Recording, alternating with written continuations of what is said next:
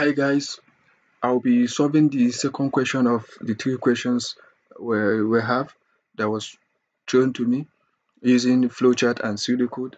So let me show you the, the question. I'll be solving this one next, calculate a running sum because it's much more almost similar to the first question. So this is algorithm. We start, we accept the number.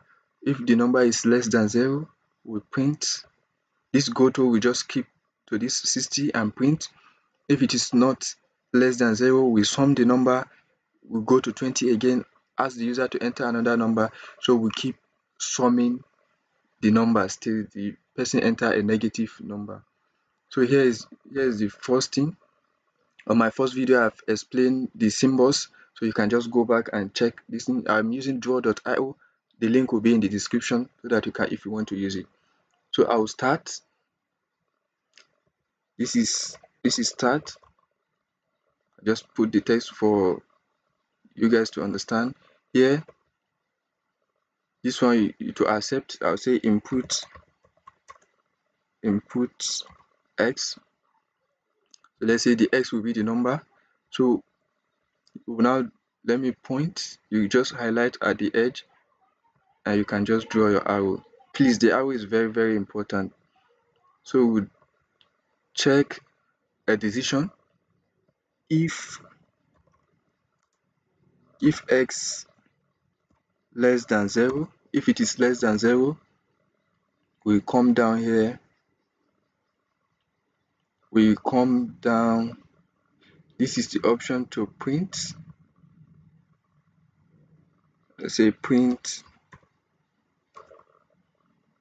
print sum so let me keep pointing the arrows. Highlight.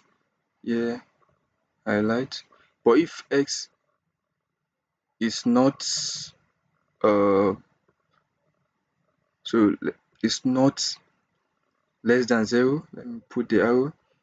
What do i do here? I'll do sum is equal to sum plus x. So here we'll be summing the number. So let me point i'll i'll before you we'll go back to the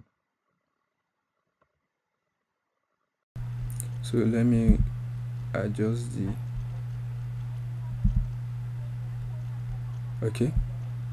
So now let me go back. We'll start.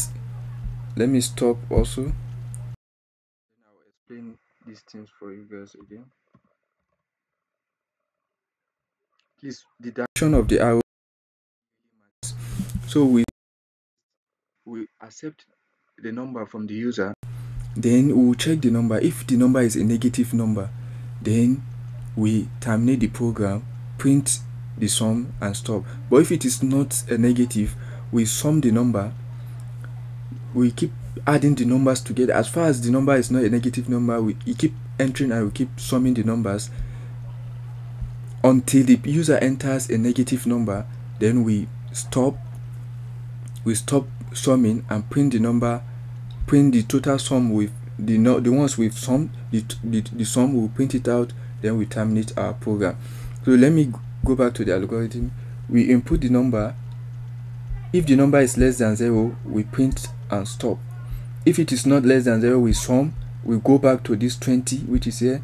You enter another number we keep summing. As far as you did not enter a negative number we keep summing. Once you enter a negative number we stop summing and print out so this is the solution. Both the algorithm and the flowchart for this solution. Please kindly subscribe to this channel and like this video for more of this kind of solution. Please thank you. So you can save your diagram or once you go to you just open the page to ask you where you want to save this diagram into. But since i've already opened it you can just come here. Once you click on save it will take you either to google drive or anywhere device it will give you an option to save. Thank you